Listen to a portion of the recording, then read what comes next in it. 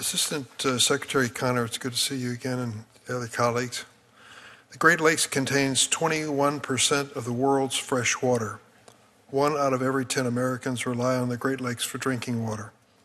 From an economic standpoint, the Great Lakes support 311,000 jobs across a variety of industry, $8.8 billion in wages.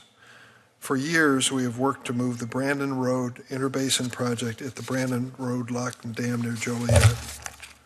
This project is critical to preventing an invasive species of carp from reaching the Great Lakes.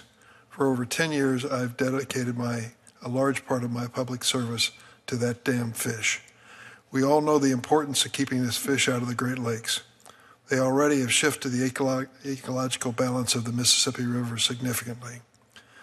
I have helped secure more than $272 million for this project. But as I understand it, the funding will not become available until an agreement is reached between the Army Corps of Engineers and my state of Illinois. This is a regional issue, not just our state concerned about it. The state of Michigan has just shown a, a remarkable commitment to solving this problem with us, and I want to thank them. I commend you for the role that you played in moving toward construction. But before we can get to this step, there needs to be a project partnership agreement between the local sponsor, the state of Illinois, and the Army Corps. what will happen on June 30th if a project partnership agreement between the Army Corps of Engineers and the state of Illinois is not signed? Prospect for, Senator, thank you for the question, uh, prospect for increased costs associated with the project if we don't get the PPA in place by the end of June of this year. And that's primarily because we need to coordinate some of the work that we need to do uh, on Brandon Road with the closure on the Illinois waterway for maintenance uh, work that we do. So we get efficiencies out of that if we uh, combined uh, that construction activity. So uh, that is why we've articulated uh, the end of June is incredibly important. Thank you very much for all you've done to help work through the issues.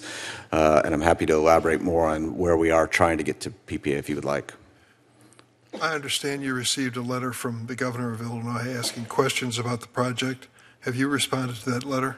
I've, re- I've responded by talking to the governor directly. The governor uh, requested that we sign an incremental PPA for a phase of this project. We don't think that this project can be broken down into phases that are usable increments. We need to complete the whole project. So I wanted to talk to the governor about that directly before sending him a letter. We talked through some of the state's concerns with respect to ensuring cost certainty, long-term OM&R, we had a good conversation. I still need to respond to him the record. I don't believe we can sign an incremental PPA.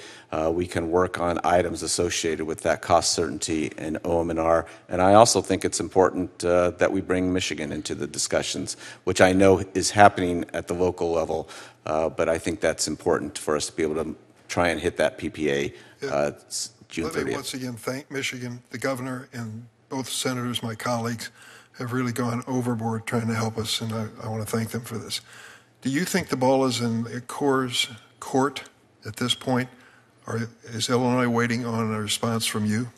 I think the governor's waiting for a response from me. We've been in contact with his team. After he and I talked, I would like to get that response out to lay the foundation for the next set of steps we need to take to get to a final PPA. With June 30th deadline looming, can you give me your assurance that you will look in this Yeah. look this matter as soon as perhaps today? Absolutely, sir. Thank you very much. I also want to thank the uh, Corps for their efforts on the Quincy Bay.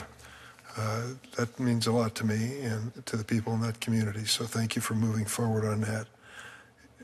I see my time is just about up, but I want to last, ask the last question about the infamous Bubbly Creek in Chicago. Will you commit to expediting interagency discussions with the EPA to ensure there is no further delay in the restoration of this area? Yes, sir. We would like to get this project uh, uh, up and going as quickly as we can. And I know this issue, particularly as it relates to hazardous toxic radioactive waste, um, the HTRW issue is one that we've got to work through uh, with all the agencies. So we're committed to that. Thank you very much.